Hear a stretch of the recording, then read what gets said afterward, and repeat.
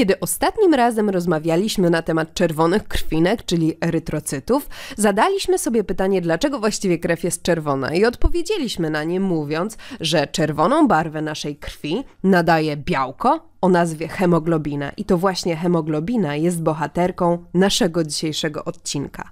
Hemoglobina, jak już może pamiętasz, to właśnie bardzo istotne białko zawarte w naszych czerwonych krwinkach, którego najważniejszą spośród wszystkich funkcji jest to, że transportuje ona tlen do każdego zakątka naszego ciała. Hemoglobina ma następujące skróty. Podaję je dla Ciebie, dlatego że czasami widnieją one na wynikach badania krwi, żebyś mógł sam sobie odszyfrować swój wynik dotyczący tego, jaka jest zawartość hemoglobiny w Twojej krwi. Warto jest te skróty znać. Podaje się hemoglobinę jako skrót HB lub pisane wielkimi literami HGB. To jest to samo. Jak widzisz, jest to skrót pochodzący od kilku liter, które znajdują się w nazwie hemoglobina.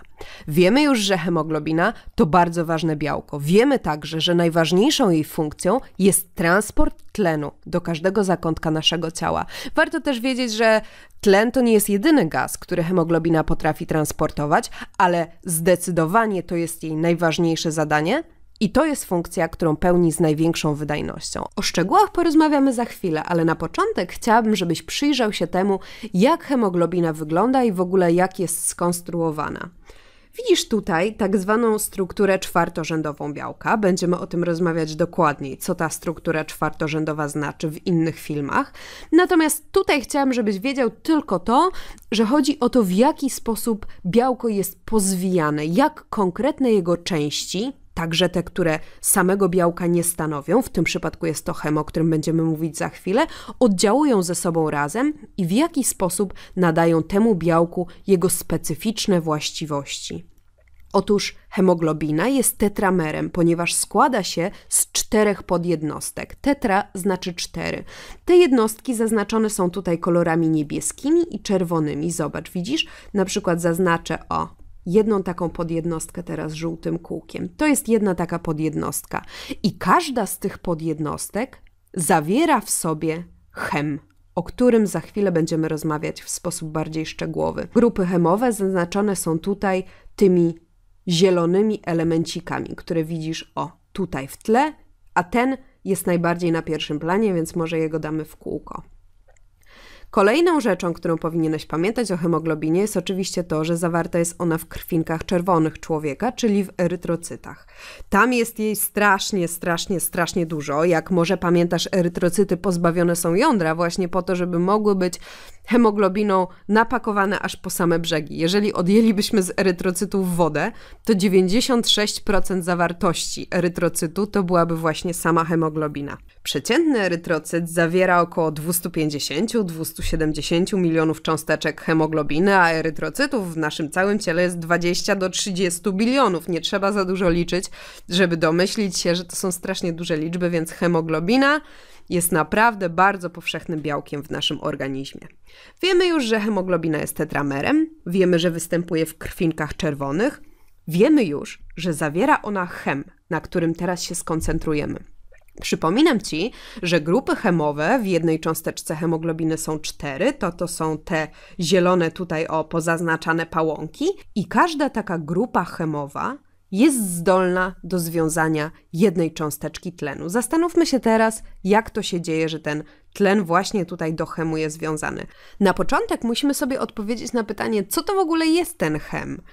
Otóż jest to związek organiczny, który ma bardzo podobną strukturę, mówimy analogiczną, do tak zwanych porfiryn. O porfirynach będziemy mówić bardziej szczegółowo wtedy, kiedy będziemy rozmawiali o zielonym barwniku w roślinach, o chlorofilu.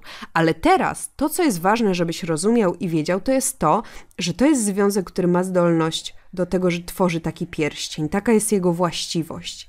Ten pierścionek tutaj, w samym środku, w przypadku chemu, zawiera żelazo.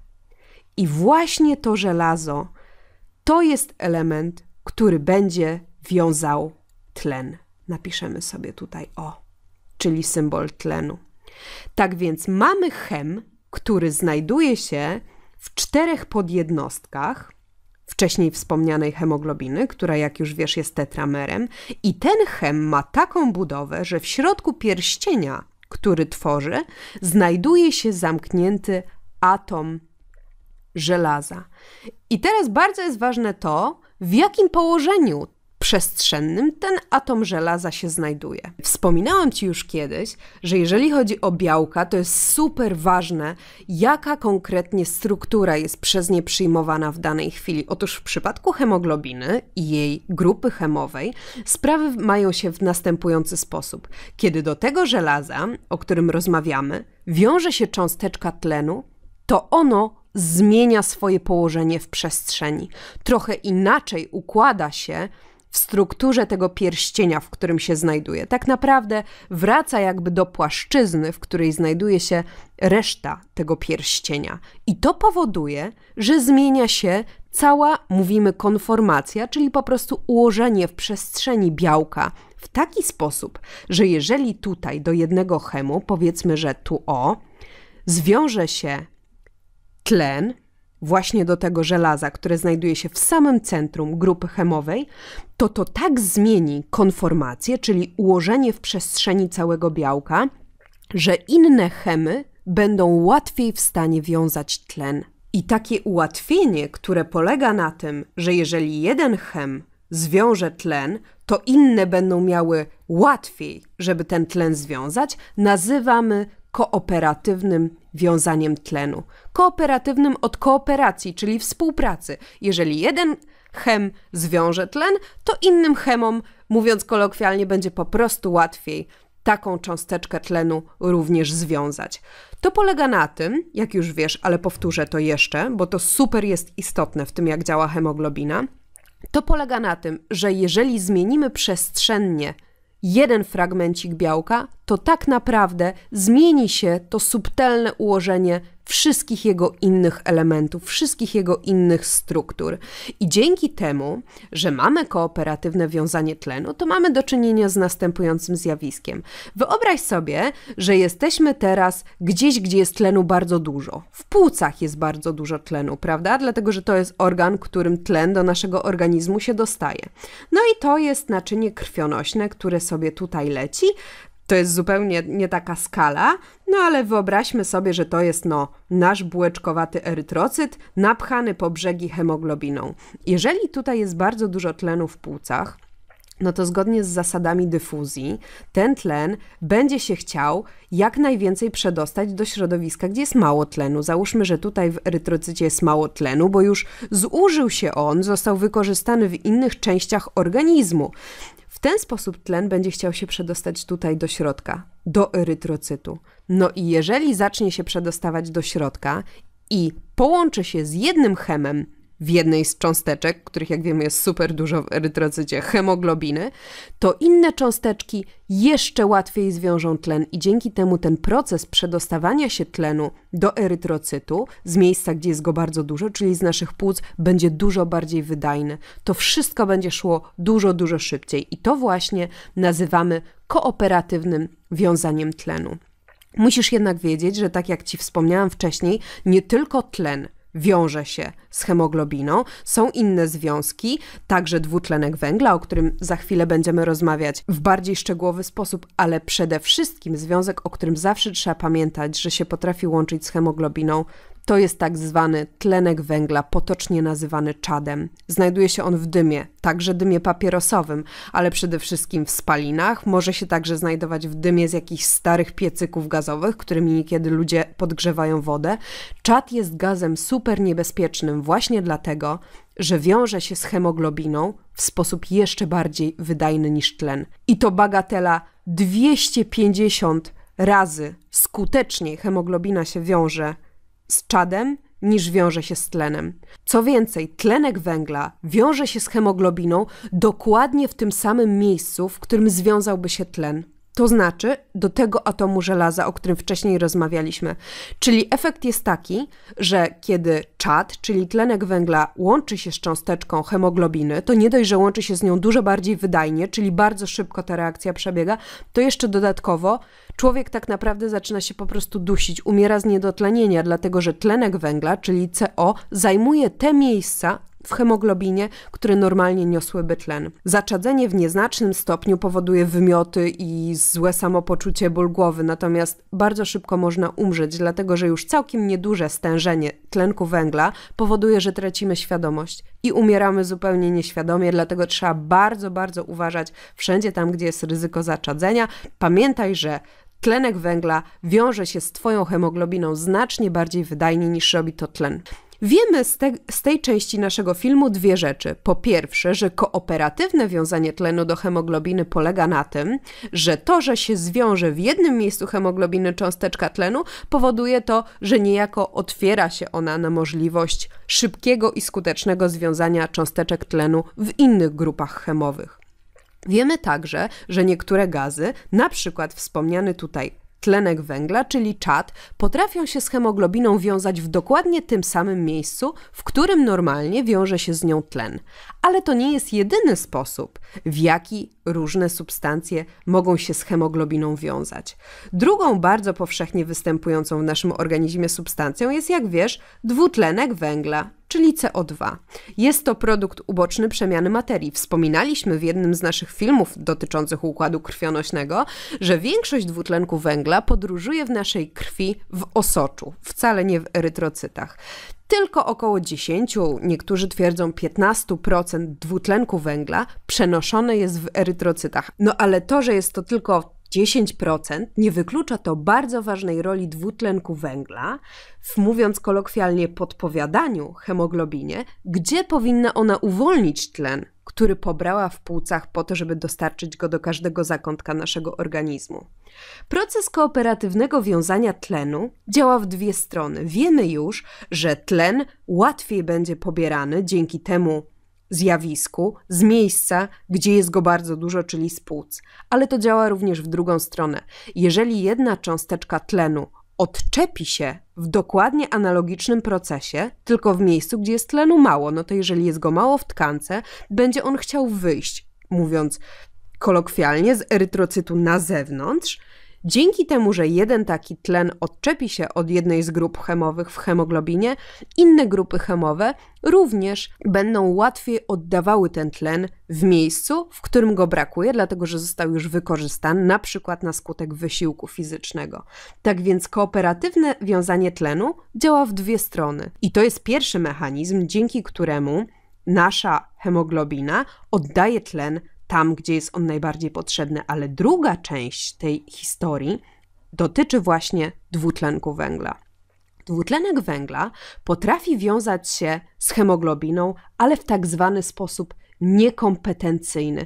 Niekompetencyjny, czyli po prostu niewspółzawodniczący. Ona nie współzawodniczy z tlenem o to samo miejsce, tylko wiąże się w innym miejscu. Właściwie takich miejsc w hemoglobinie jest dużo. To nie jest jedno miejsce, tak jak w przypadku tlenu, kiedy wiemy, że to jest to konkretne żelazo w konkretnej grupie chemowej.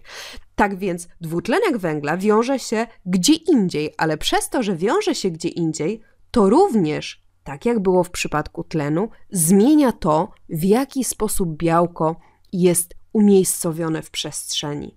I przez to dochodzi do tak zwanego hamowania niekompetencyjnego, czyli przez to, że dwutlenek węgla wiąże się do hemoglobiny, ale gdzieś z boku, w jakimś innym miejscu niż związałby się tlen, zmienia się jej konformacja i to powoduje, że tlen ciężej jest związać tym grupom chemowym, które normalnie tym się zajmują poprzez wiązanie tlenu do cząsteczki żelaza.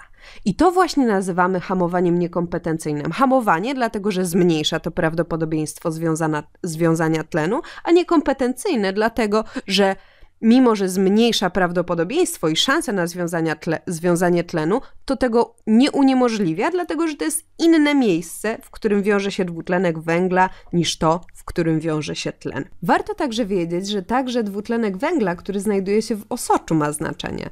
Osocze to jest środowisko wodne, no bo osocze to jest po prostu głównie woda, i pod wpływem tego, że znajduje się właśnie w środowisku wodnym, a także pod wpływem takiego enzymu, który się nazywa anhydraza węglanowa. Ten enzym jest obecny między innymi w erytrocytach. Może zapiszemy sobie w ogóle jego nazwę. Anhydraza węglanowa. Anhydraza węglanowa katalizuje tę reakcję, czyli ją przyspiesza i właśnie pod wpływem tego, że dwutlenek węgla znajduje się w środowisku wodnym i jeszcze mamy enzym, który przyspiesza tę reakcję, zamienia się on po prostu w kwas węglowy czyli w HCO3. Kwas węglowy najczęściej w środowisku wodnym znajduje się w postaci jonów. Są to jony H, czyli po prostu proton, atom wodoru pozbawiony elektronu. Ten elektron zostaje z całą resztą. I tutaj mamy drugi jon, który jest ujemny. Te rzeczy są wyjaśnione w dużo bardziej szczegółowy w naszych filmach dotyczących chemii, do których Cię odsyłam, jeżeli nie wiesz o czym mówię, mówiąc o tym, że nasz kwas dysocjuje tutaj właśnie do jonu H i jonu HCO3-.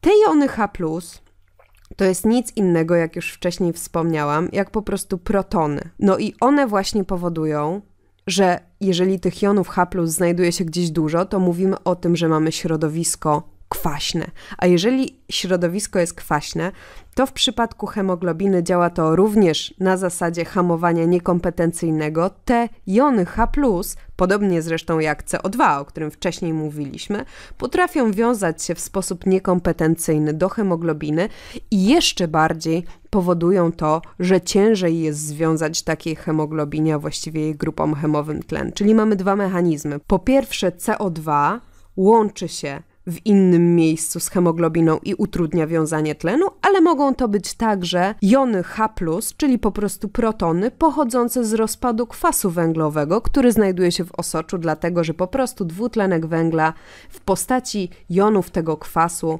znajduje się w naszym osoczu. Mam nadzieję, że po dzisiejszym filmie będziesz potrafił powiedzieć, jak zbudowana jest hemoglobina, czym w ogóle ona jest i dzięki jakim mechanizmom bardzo precyzyjnie oddaje ona tlen tam, gdzie jest potrzebny, a pobiera go stamtąd, gdzie jest go najwięcej. Do usłyszenia następnym razem.